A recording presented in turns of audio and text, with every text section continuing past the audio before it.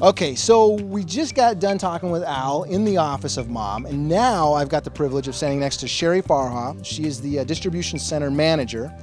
And um, well, what what all services do you provide here at the distribution center? So we are a full-service food pantry. So people can come in and shop as often as they need. Six days a week we're open. So we're open more hours than any other pantry in Dane County.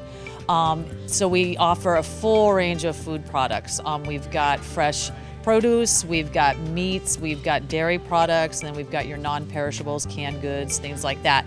We also offer a clothing center. And so we offer really, really great clothing free of charge to our guests. So that helps them stretch their budgets.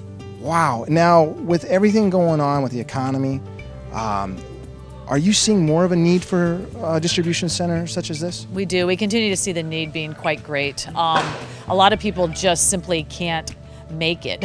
Um, we've got people that are working two or three minimum wage paying jobs, and it's just not enough. Um, there's such a dearth of low income housing options available in this area, so people are paying just huge amounts just to like stay afloat with their rent. So we're just seeing a lot of people who just simply cannot make it if we're not here to help them with their food budget. And, and obviously, with all these needs and whatnot, um, what are some of the biggest challenges that you guys are going to be facing? Yeah, the challenge is always keeping enough food on the shelves. Um, we go through periods of time where it looks really great and everyone's feeling really good, and then we've got periods of time where there's just not en enough food on the shelves or as much food as we would like. Okay, so with all the needs and everything that's going on here in the distribution center with the volunteers, uh, there's so much going on with mom, not only uh, here with the food, but also with the uh, clothing center. Um, we're going to find out a lot more as uh, as time goes on. So thank you so much, Cheri, and um, I'm sure I'm going to talk to you a lot more. So yep, thank great. Thanks, my pleasure.